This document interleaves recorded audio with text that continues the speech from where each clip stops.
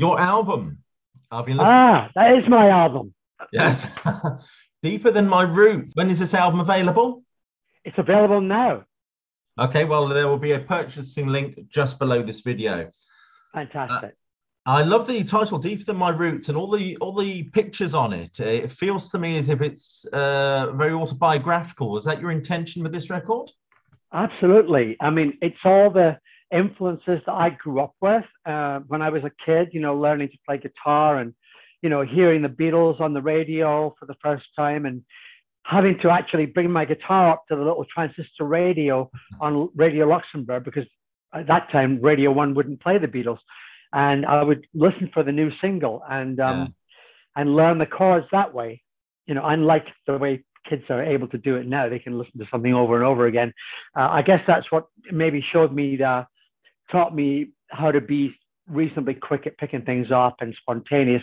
But yeah, it's all about that. The album cover reflects uh, the different vinyl stuff that I loved in those days, like uh, Sergeant Pepper or the Incredible String Band, who were massive influence on me in those days. Another Scottish duo. Yeah. Um, so yeah, it's all about that stuff that I grew up listening to and stuff that comes very natural to me. Um, and albums that I, I love the album genre. I love the idea of that, which sadly is kind of getting lost these days. Um, to to kids downloading, you know, maybe one track at a time and only buying one song instead of having to, as we did. Uh, I know I did when I was a young a young kid, going into the local record shop and and looking through all the albums and having to pick one that I really could afford and one that I wanted to get. And um, yeah, it's a different it's a different animal these days, and that's fine in many ways. Although I, it's a shame because I feel that a lot of artists uh, don't get a proper listening. You know, kids just Absolutely. buy one track uh, and that's it. Um, but um, I love the idea of of um, of people sharing in the listening of a, a, complete work by a band, like in the old days when I when I would listen to to maybe Neil Young or, or Joni Mitchell um, or the Beatles or whoever, the new Stones record, you you listen to the whole thing. Yeah. And you get into the whole atmosphere of the whole thing, and that's kind of what I wanted to create with this record was going back to that vibe, uh, because it was all done fairly quickly in my own home in, in California, and then in the, in the in the home of a good friend of mine who has a who has a studio in his house, uh, Marlon Hoffman, where I did a lot of the recording. But it was done very much under those circumstances of okay, let's just record this track now. Let's put some guitars on it and add some more guitars, and I'll record some bass now. So it was all done very much very very free time, and it was a very enjoyable experience because I got to do it with my kids, yeah. uh, and they were they were very into it, and um, you know, I'm very fortunate. I was able to grab them at that period in their lives and uh, and get them to to do work on this record. So it's not only done from an old farts point of view; it's done with all these new kids, uh, young kids sensibilities. Well, you've kind of touched upon my next question with your with what you've just said. Uh, when I listen to this album, I hear lots of little sonic allusions to the the history of popular music and perhaps how it affected you. For example, one look in your eyes is that fluty mellotron sounding like Strawberry Fields. There's uh, a little bit at the start of You Lied to Me, which to my ears sounds like a nod to Unchained Melody. Final quarter feels very Crosby, Stills, and Nash. Uh, was that all intentional, or am I barking completely up the wrong tree here? Uh, no, it wasn't intentional. What it was was essentially just the way that I am. It's, yeah. it's the music that I grew up with. So as you as you rightly suggest, um, it does sound like many of those artists because that's this is what by calling the album deeper than my roots it was essentially saying this is the music that i grew up with and and more and beyond that.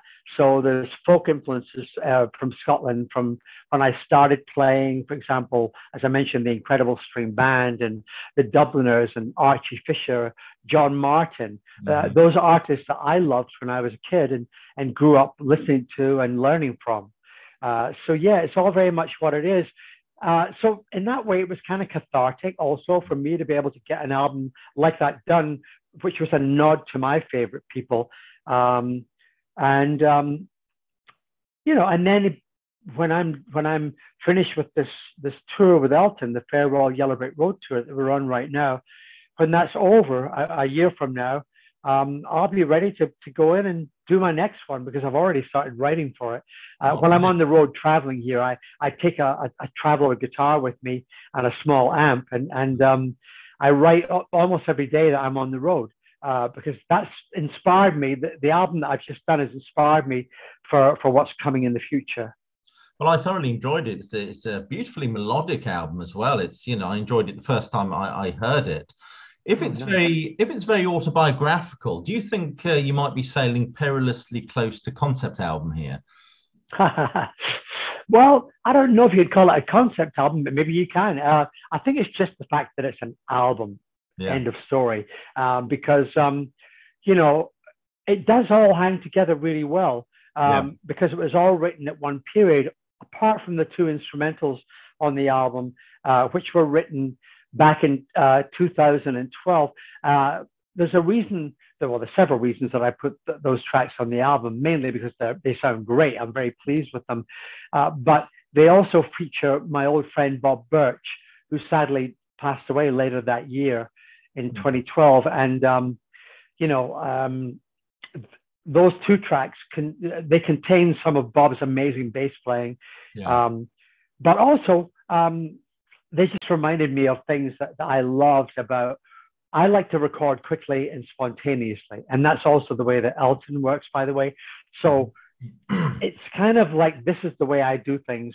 I don't like to spend days, weeks, months on these things like a lot, a lot of artists do. And I'm not saying that's the wrong way. I'm just saying I don't work that way myself. I like to get the idea when it's most fresh, get it down there. And if there's a couple of mistakes on it, I don't really care. It's like I'd prefer to get the atmosphere of the moment on onto that recording. Uh, that tends to be what I what I go for.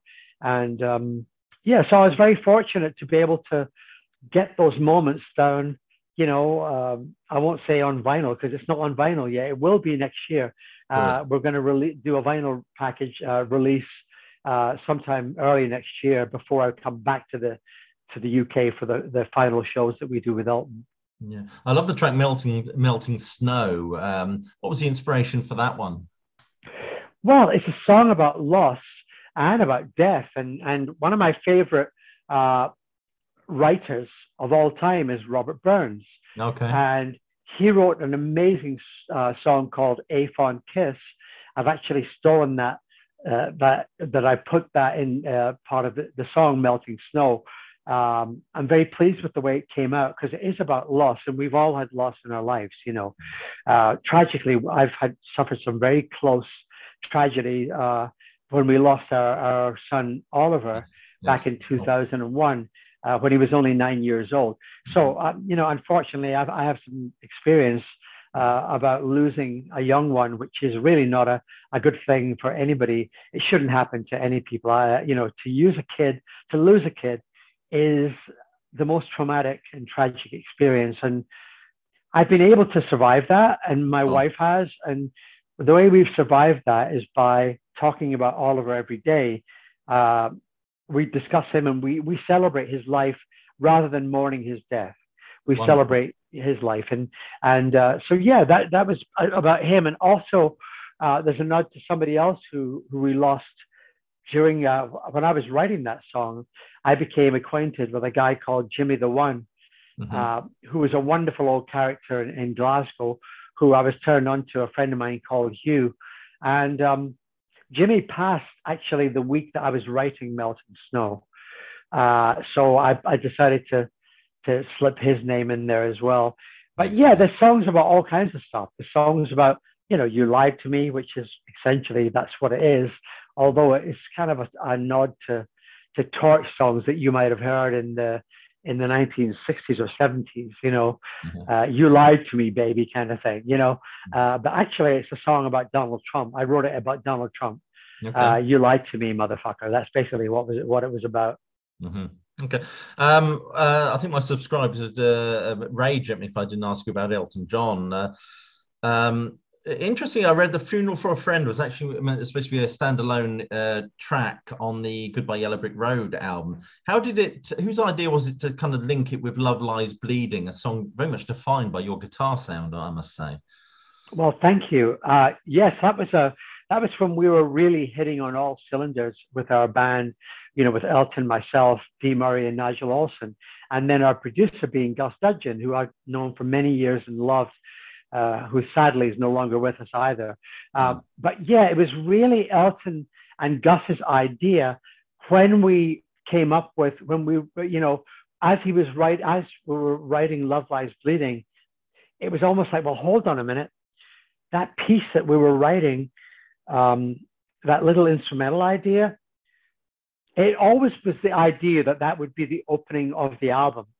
So really, again, because of the way we work, which is quite quickly, um, as soon as Elton was writing this, we thought, let's tag it on with this because of the title, Love Lies Bleeding. It seemed to fit really well with Funeral for a Friend. And then we asked our engineer on that record, uh, David Hentschel, himself a wonderful musician who's still around to this day, and he composed the little, the very beginning part, the synthesized piece, uh, which is the intro to the whole thing. And when we put it all together, it just seemed to totally make sense. I think it was meant to be.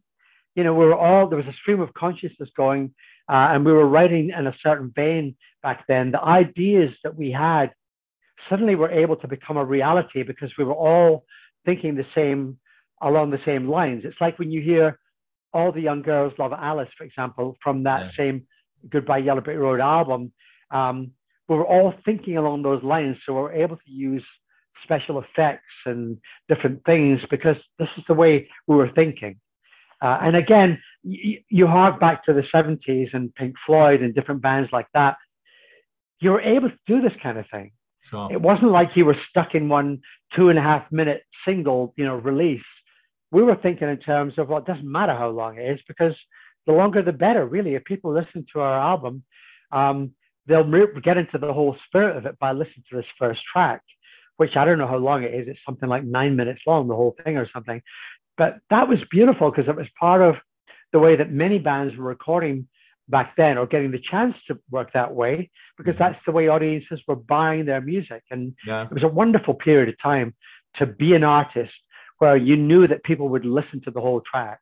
Yeah, I mean, your first Elton album you played on, as far as I understand, was uh, Madman Across the Water, which was about 52 right. years ago now. But uh, uh, my, my, my, favorite Elton album is the uh, Tumbleweed Connection. Right. I'm just wondering what um, Elton John album that you contribute to are you most proud of?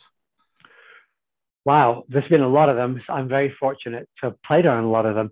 Um, probably Yellow Brick Road, and then yeah. a closely second would be Captain Fantastic mm-hmm. uh, and the Brown Dirt Cowboy, which is just a remarkable kind of autobiographical album story of Elton and Bernie's career.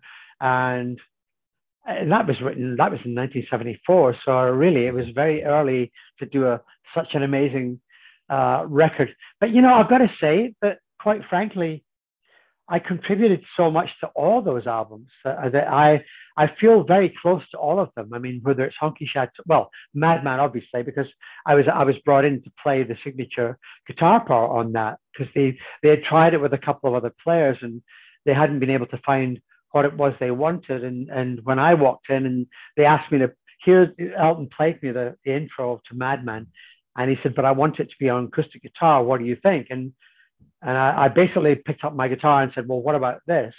Yeah. And he went, "Yeah." That's what I was. So, you know, I've been able to contribute to his music uh, all through the all through the decades. I can say now, which is quite startling, really. Um, but yeah, even like Honky Chateau was a huge album because Rocket Man was Elton's first hit single, first number one hit single. Mm. Um, um, for all of us, and it was an astonishing. It was really a, a, quite an amazing period in our lives as young as young musicians because suddenly we had a number one record and we were doing what we wanted to do. So you got the best of both worlds. Right. Um, that was a remarkable feeling back then. So yeah, Honky Chateau meant a lot to me with Rocket Man. Uh, the next album, Don't Shoot Me, had Daniel on it, had Crocodile Rock. It had Have Mercy on the Criminal, which really was the first time that I stepped out in a big way as a as an electric guitar, you know, soloist with a, you know, to be reckoned with. And um, Goodbye Yellow Brick Road with just all this wonderful stuff on it. And that was all just our band. Yeah. There's only a couple of tracks with um, anybody else on it. Which at those time was Ray Cooper before he joined the band. He played a lot of percussion on it, and also um, um, Del Newman did some wonderful string arrangements. Um, so yeah, I mean, I've got to tell you, I loved all the albums I've been involved in with Elton, really, because we've had such a wonderful time making all those records. Um, you know, even Too Low for Zero, when we rejoined, uh, when we reformed uh, as a as a band, the original band in '82. Um, don't I, you know? I guess that's why they call it the blues. It means a lot to me, obviously, because I wrote it with Elton and Bernie. But um, you know, I'm still standing. All those all those records were. It was like when we recorded them, we made we straight away we knew we had something special. And yeah. it was like, you know, to, to know that you're recording something straight away, you go, oh, Christ, this is going to, I think this has got a good chance of being a, a big hit. And, and they were massive hits. So, you know, I don't know. I, I don't, not being blasé about it, but there's been a lot of, of, of albums, in fact, all of them, I think, that I feel that we did something kind of important as musicians at that time frame. And, and we got a chance to do it because we've built up a, a big fan base by all the touring we've done over the years. And that's starting to be very evident now, especially on this, this farewell Yellow Brick Road tour, because the fans seem to be really loving it. And uh, it's a great feeling to be doing those songs to all these people, you know. Yeah, I bet. I bet. Um, i have got to ask you because I'm a huge Alice Cooper fan. I'm just interested in uh, um, from the inside out. Uh, sorry, from the inside. Sorry, how did you come to be involved with that? And do you have any interesting stories or anecdotes from working with Alice Cooper? Oh my God, I've got plenty. I've got plenty you're of them. Get sued for. Yeah, I've got I've got a lot. I've got a lot of stories about Alice. Who I, I love Alice to this day. We're great friends. Alice and his wife Cheryl are the best people. And um, yeah, so when I've known Alice forever, and when Elton retired, uh, which was the end of 1977, uh, famously in Wembley when he did that retirement speech when we were on stage playing. We had no idea he was going to do it, uh, but he did, and fine, that's what it was. So, um, so back in so 1978. By then, I was just living loosely in LA, just getting used to being there and getting asked to do a lot of recording sessions with different people. And I'd known Alice uh, already for years, and I got a call from his manager, Shep Gordon, who's a wonderful person also and a great manager. Uh, and he said, Davey, look, you're not doing anything with Elton.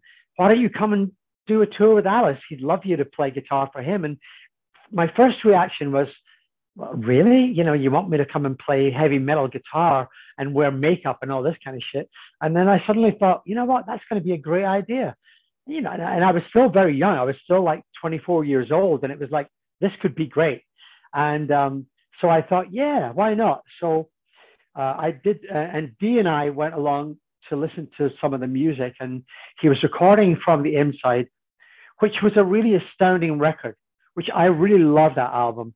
And um, I got a chance to, I got to play on a couple of tracks, and I loved it mainly because Bernie had written these great lyrics along with Alice and David Foster, who produced the album and did some beautiful playing on it. But he was using these guys from a new band that was just being starting to be formed called Toto. Okay. Now, those guys have become dear friends of mine, all of those guys. Um, some of the finest musicians that LA ever produced, that's for certain. Uh, Steve Lukather, Steve Porcaro, um, Jeff Porcaro, David Paich. Toto was this band of astonishing musicians. And before they formed this band, they were doing all the sessions for, for people when they were like in their teens. They were like 18, 19 years old. So they were kind of like this image of me when I was first in London doing all this session work for all these other people. Um, and I got a chance to play with those guys. And I thought, wow, this is the future of, of contemporary music. So that was one aspect of the Alice thing that I loved, that he was using those young guys and then I went on to, to do those tours with Alice. I, I did, God, I toured with him for a couple of years and then played on another album, Flush the Fashion, which was actually a very underrated album. Um, it came out at a very low point in Alice's career and life. And I don't think he'll mind me saying, but it was a low point for him. Um, I think but, he's actually um, on to say he doesn't remember the album. Yeah, it was a very tough period for him. and um, I thought there was some great stuff on it. And Roy Thomas Baker, who was a dear friend of mine from Queen, uh, you know, he produced those phenomenal Queen albums. So he was producing the album, and Roy and I had a wonderful time. And I brought a couple of songs to the album, one uh, called Clones, which did very well. Um, and then I co wrote several of the songs on the album.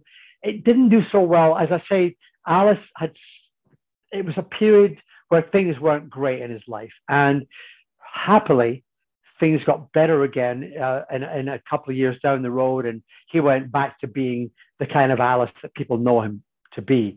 And to this day, he's still doing tours, as you probably know. And his band is great. Um, they've got all these great players. Um, they got Ryan Roxie. They they have Nita Strauss, the guitar player, uh, who's a startling, you know, soloist. And and Alice is just happier than ever. I got to jam with him actually uh, just before COVID hit.